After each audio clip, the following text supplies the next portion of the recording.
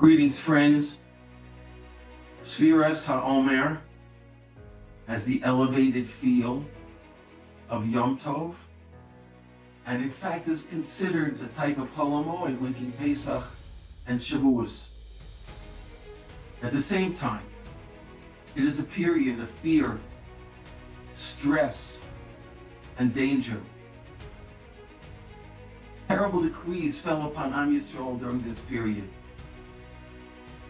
especially the catastrophic death of Rabbi Akiva's Talmidim, and much later, the Crusades and the Chmielnicki uprising in Eastern Europe.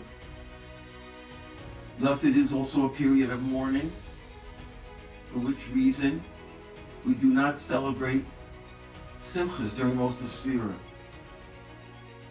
It's not surprising that Sphira is a serious Takufa. During these seven weeks in biblical days, Am Yisrael, the Jewish people, traveled from Mitzrayim, ancient Egypt, to Har Sinai, Mount Sinai. It was our avoda at that time to rise from a slave mentality to a spiritual level at which we were capable of standing before Hashem and receiving His Torah. An event which would forever alter the entire world. This was an intensely difficult spiritual undertaking. No wonder it is a time of testing and tension. The tests were great. During those days, Am Yisrael was attacked by a Amalek, and our ancestors were guilty of numerous rebellions, which put us in terrible danger and caused grief, if you could say so, to our Father in heaven and to Moshe Rabbeinu. These are the days referred to by David HaMelech, where he says, Do not harden your heart, as at Meribah, as on the day of Massa in the wilderness. When your ancestors tested, tried me, they tested me, although they had seen my deed when I when I freed the Jewish people, from slavery with earth-shaking miracles. For 40 years, I was angry with the generation. And I said, an errant-hearted people are they, and they do not know my ways. This is Hashem speaking. Therefore I have sworn in my wrath that they shall not enter my land of contentment. After leaving Mitzrayim, when we arrived at the Yam Suf, the Red Sea, the nation panicked with the Egyptian army behind it and the sea in front. Not only then, but many times our ancestors panicked over the course of their biblical journey through the Sinai desert. That is why Moshe Rabbeinu had to say at the Yam Suf, quote, do not fear, stand fast and see the salvation of Hashem that he will perform for you today.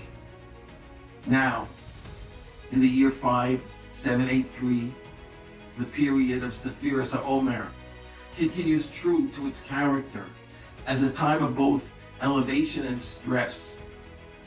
It's easy to look down our noses at our ancestors. From our vantage point, we know that Hashem was watching over them and that Moshe Rabbeinu was leading them. It's easy to say, how could they have panicked? What was their problem? Frankly, I doubt very much that had we been there, we would have remained calm. God forbid we should be put to the test.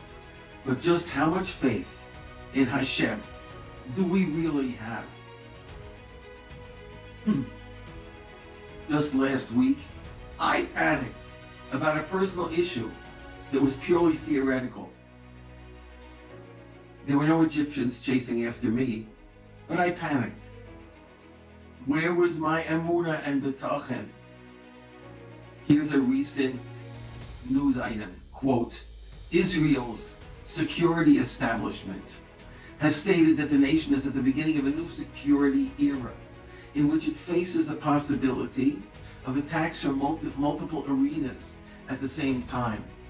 We operated for years under the assumption that limited confrontations could be held, but this phenomenon is disappearing. Today, there is a noticeable phenomenon of the coalescence of arenas. Doesn't this sound very much like the Yam Suf, where we were surrounded on all sides? Maase Avo Siman Labanim, the events which our forefathers experienced are a sign for the future. We would do well to strengthen ourselves for the coming tests. Listen, please, to the words of this week's Haftarah. And quote, For behold, I shall shake the house of Israel among the nations, as one shakes grain in a sieve, and no pebble shall fall to the ground. By the sword will all the sinners of my people die, those who say that evil will not approach and overtake us. I'm sorry to remind us of such frightening words, but it is astounding to see how the Navi defines the word sinners as those who say the evil will not come upon us. It is dangerous not to take our danger seriously. The Navi's advice will enable us to survive. We will realize that our only hope is to ensconce ourselves under the wings of the Torah. My friends, Sfiras uh, Omer, is a time to take life seriously, recognizing with greater urgency each day that there's nothing in life but Hashem and His Torah. Ein od milvado. There's nothing else. Haftarah continues, quote, Behold, days are coming, the words of Hashem, when I shall bring back the captivity of my people Israel, and they will rebuild desolate cities. They will return and plant vineyards and drink their wine. They will make gardens and eat their fruit.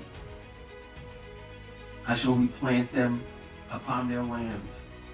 They will not be uprooted again from upon their land that I have given them, says Hashem, your God. May we see it soon in our days. Good Shabbos.